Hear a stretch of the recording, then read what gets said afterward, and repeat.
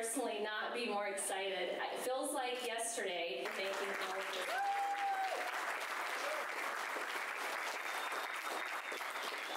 a decade ago. And uh, when we knew about the state law that required a seismic retrofit, I think many of us And the second one, where were you born? And I was actually born at Kaiser. But through what was at times a somewhat difficult